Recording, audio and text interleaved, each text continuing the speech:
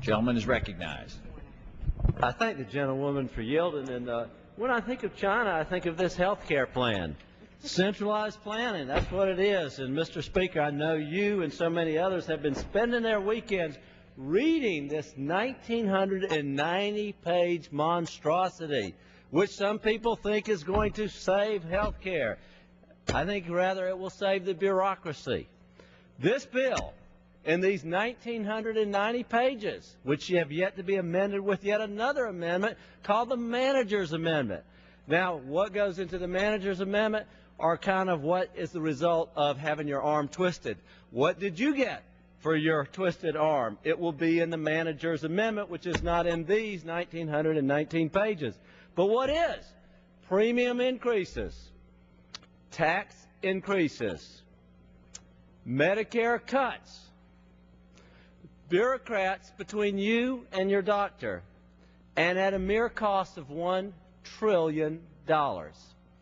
In the year that we have had the highest deficit in the history of the United States, 1.4 trillion, the Pelosi plan comes in weighing at $1 trillion when we just got our unemployment figures back.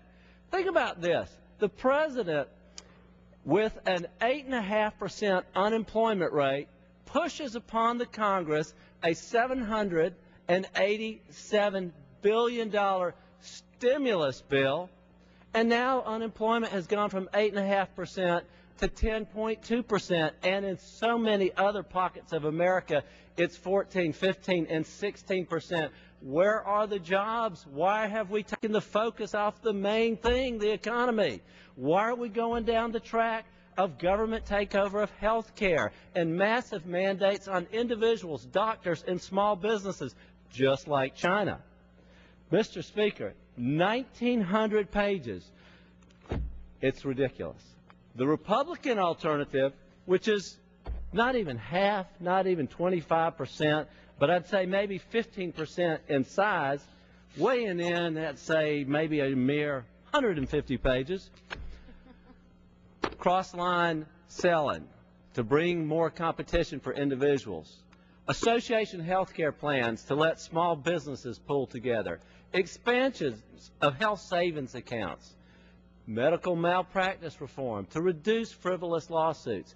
These are the, this is the Republican alternative, and the difference in the philosophy is simple. If your kitchen sink is leaking, you fix the sink. You don't take a wrecking ball to the entire kitchen. That's what the Pelosi plan does. The Republican plan focuses on those who have unfortunately fallen through the cracks.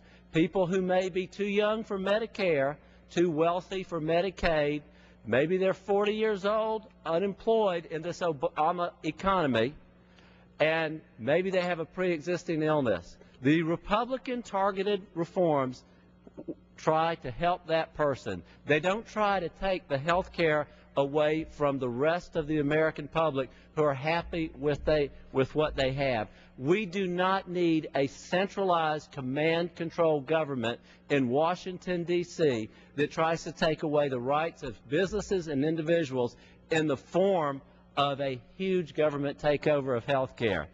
And, Mr. Speaker, I yield back the balance of my time. Thank you.